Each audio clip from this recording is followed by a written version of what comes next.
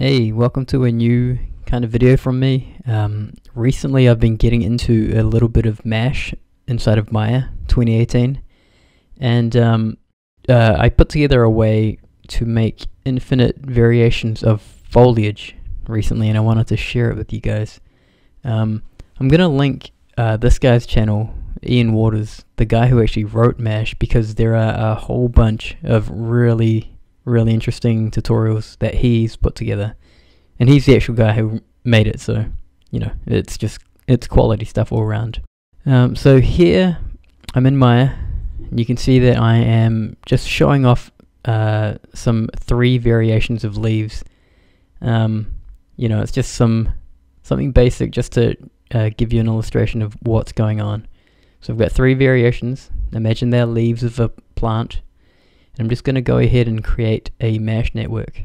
This is kind of how it comes out uh, at default. And I'm just going to go into the settings. You'll notice that um, these distribute nodes are uh, in, inside every MASH network. And as soon as I create a MASH ID node, you can see that all three um, leaves are now visible. Uh, and then I create a random node and here I'm just importing random values. Uh, this is going to build your uh, the plant that you will then use. So you can just play around with whatever uh, parameters you want, create and make that kind of look you're going for. Uh, it's kind of not rotating the right way, but it doesn't really matter too much in this case. Course, you'll want to, you know, tweak it the way you want uh, this bush or whatever you're making to look like. So I'm just tweaking a few more parameters. So here I've got a look that I'm okay with and I'm just creating it, well, making an asset from it. You can see it's just default settings for now. So I turn the DAG shapes off. And it's because I want to add these parameters to the asset and expose them. I turn the DAG shapes off again. And so what I'm doing here is now that these parameters are under the asset, I can actually publish them to the asset so they're exposed. So I'm just getting a couple of parameters.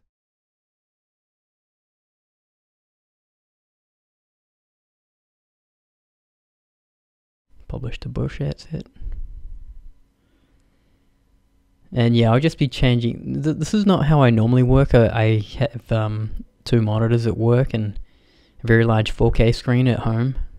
And um, I'll typically just have this on the other side of the monitor. You know, I like to look at a larger viewport. But here, you can see I'm in the timeline. And what I'm doing is what I want to have happen is start the point count at 12 here, key it, and then, you know, later on, frame 20, I want to just set a higher value and then just keep this linear uh, curve on the graph so that um, it can just cycle as long as the timeline goes for. So just turn on infinity, infinity, you can see that it just it caps out at 15 we don't want that to happen so we put this offset on it. You can see that that just continues to go on. And we do the same again on the random seed.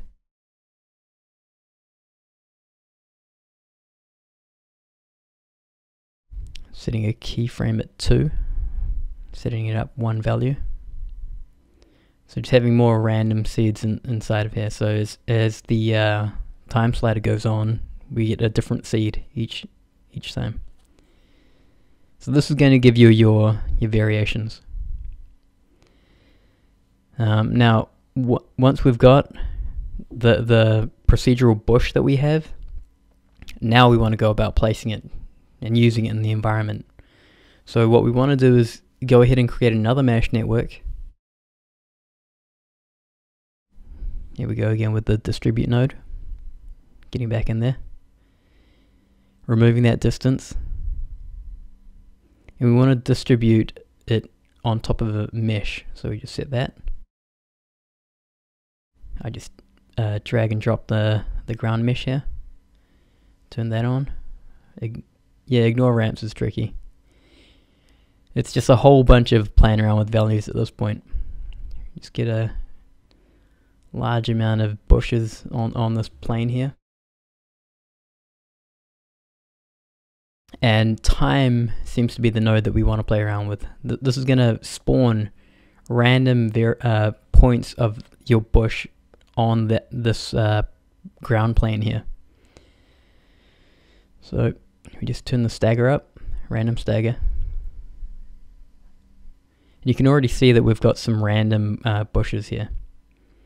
I just increase the uh, in frame just so that there's more uh, bushes that it's going to sample. And you can see as I drag the stagger frames that we're getting more random variations of bushes uh, present on, on the ground plane.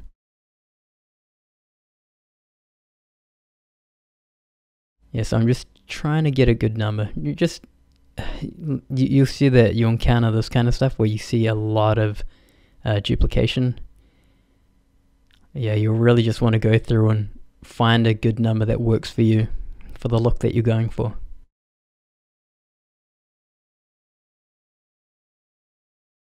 So I'm pretty happy with it here.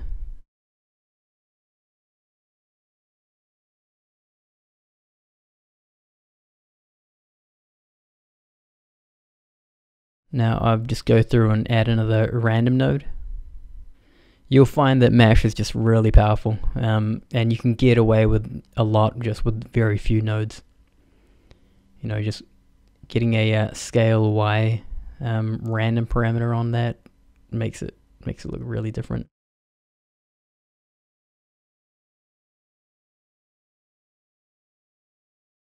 Yeah, and I'm really just tweaking it now. Um, but the main point is, you know, you can use that time node to then sample different parts of that asset on the ground plane. Here I am just spamming a whole bunch.